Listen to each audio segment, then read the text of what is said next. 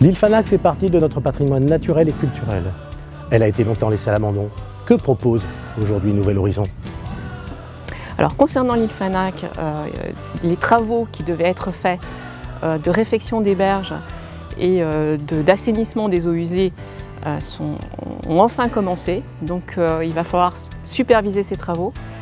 Ensuite, notre projet en fait, c'est de redonner à cette île la place qu'elle mérite, à la fois au niveau culturel et au niveau naturel.